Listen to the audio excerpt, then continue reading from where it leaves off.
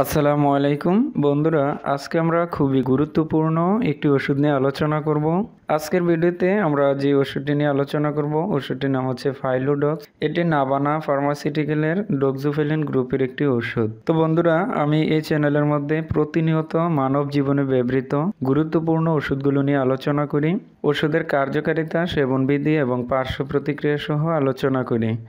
তো আজকের ভিডিওতে ফাইলোডক্স এই ট্যাবলেটটি সম্পর্কে বিস্তারিত জানাব। তাই না টেনে পুরো ভিডিওটি দেখার অনুরোধ রইল।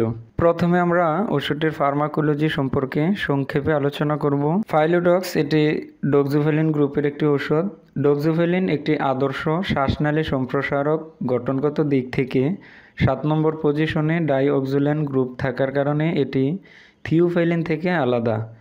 ডোক্সোভ্যালিন নির্দিষ্টভাবে ফসফোডাই এস্টারেসকে বাধা প্রদানের মাধ্যমে শ্বাসনালের মাংসপেশির প্রসারণ ঘটায়। থিওফেলিন থেকে আলাদা হওয়ার কারণে ডোকজোভ্যালিন এডেনোসিন ইউ ওয়ান এবং এ টু রিসেপ্টরের প্রতি আকর্ষণ অপেক্ষাকৃত কম, তাই এটি অনেক নিরাপদ।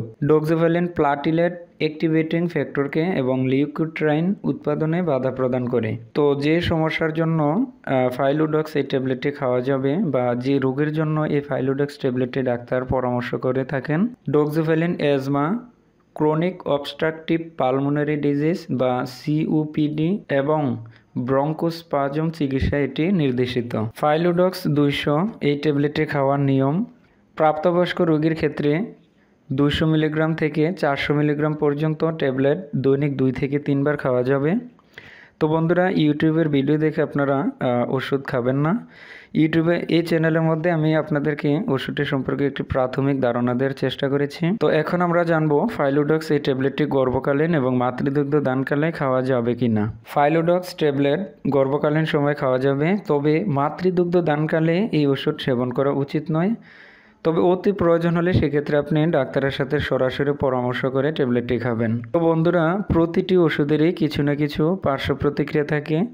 তেমনিভাবে অতিরিক্ত মাত্রায় ফাইলোডক্স এই ট্যাবলেট সেবন করলে কিংবা দীর্ঘকালীন সময় পর্যন্ত ডোক্সোফেলিন গ্রুপের ওষুধ সেবন করলে যে সমস্যা হতে পারে, যেমন বমি বমি ভাব বমি, মাথা ব্যথা ডায়রিয়া, বুক জ্বালা পোড়া ইত্যাদি সমস্যাগুলো দেখা দিতে পারে। তো বন্ধুরা, এই ছিল ফাইলোডক্স ট্যাবলেটটি সম্পর্কে সংক্ষিপ্ত বিবরণ এবং প্রয়োজনীয় ইনফরমেশন আপনি যদি এমনই ওষুধ সংক্রান্ত ভিডিও দেখতে পছন্দ করেন, তাহলে আমাদের বিডি হেলথ কেয়ার ইউটিউব চ্যানেলটিকে সাবস্ক্রাইব করে পাশে থাকা বেলাইকনটি প্রেস করে দিবেন পরবর্তী ভিডিওগুলো দেখার জন্য।